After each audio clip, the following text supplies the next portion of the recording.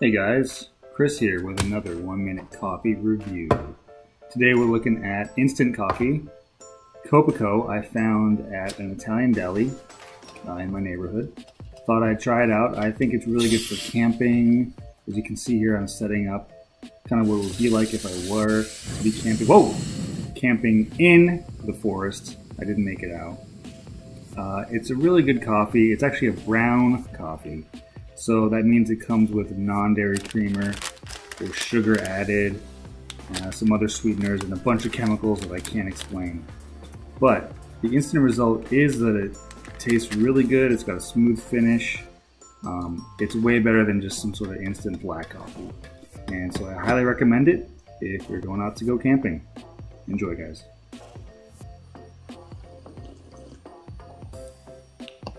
Mmm.